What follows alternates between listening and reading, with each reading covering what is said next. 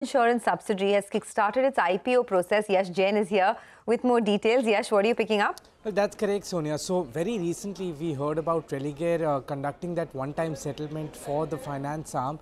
And after that, what we've been given to understand now is that the company started the IPO process for its health insurance subsidiary, that is uh, Care Health Insurance.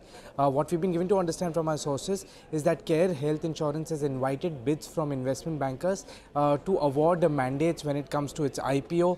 Uh, according to sources, Care Health Insurance is looking to raise anywhere between 1500 to 2000 crore when it comes to this particular IPO. So it's a decent size issue uh, coming from this health insurance company and this will include both a primary issuance and a secondary issuance. As far as the funds raised from primary issuance is concerned, what we've been given to understand that uh, CARE expects to use those funds to uh, enhance its solvency, also uh, use them as growth capital when it comes to you know capturing the health insurance growth in the industry. Uh, apart from Religare, which of course uh, is likely to look at uh, selling its stake in this particular IPO, there are other investors also which will explore opportunities to pare their stake down when it comes to CARE Health Insurance IPO. A quick look at the shareholding pattern. Religare Enterprise owns about 64%.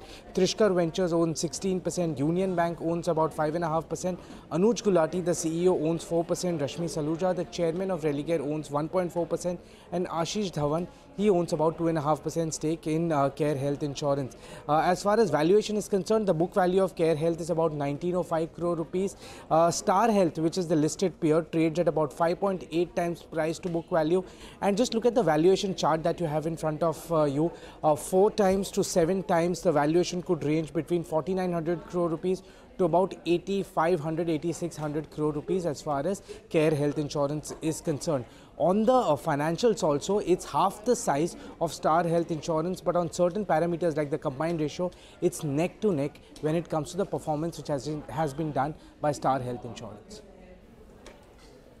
Okay all right uh, yash thanks very much for that. We need to